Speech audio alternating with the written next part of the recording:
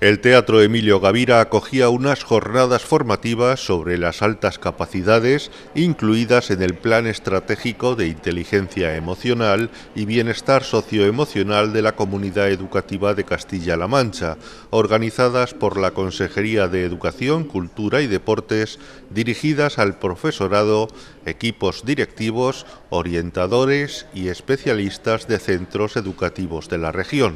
Unas jornadas que van dirigidas al profesorado, a los equipos directivos, orientadores y especialistas de los centros educativos de nuestra región, de nuestra comunidad educativa, con el fin y el objetivo de poderles dotar de herramientas, de recursos que les sirvan en su día a día para dar una respuesta educativa adecuada a los alumnos con altas capacidades. Alrededor de 400 profesionales han participado, lo que demuestra el interés suscitado cerca de 400 profesores, profesores y profesoras de nuestra comunidad y que bueno pues a lo largo de la mañana y de la tarde de hoy eh, a través de diferentes especialistas y diferentes expertos van a poder aprender y conocer pues por un lado el marco teórico de las altas capacidades eh, todos los eh, falsos mitos falsas creencias que giran en torno al universo de las altas capacidades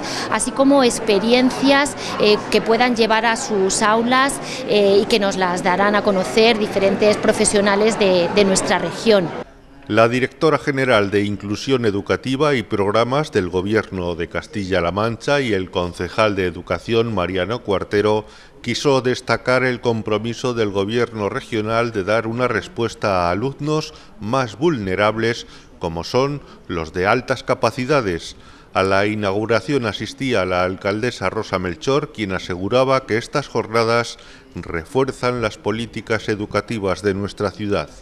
Como decía, eh, destacar el compromiso del Gobierno regional en cuanto a la formación de calidad de todos nuestros docentes para dar respuesta a todos nuestros alumnos y en especial a los más vulnerables y dentro de este grupo de vulnerables se encuentra por los aspectos emocionales eh, acordes a ellos también los niños con altas capacidades. Se trata de la tercera ocasión, como recordaba la alcaldesa, que Alcázar de San Juan acoge unas jornadas relacionadas con el alumnado de altas capacidades, puesto que en 2016 y 2018 la Asociación de Familias de Niños y Niñas con Altas Capacidades, Galileo, organizó un encuentro formativo. Unas jornadas que vienen a reforzar todo aquello que ya se hace desde Alcázar, un lugar en el que tenemos también un programa efectivamente integral e inclusivo para todas las capacidades,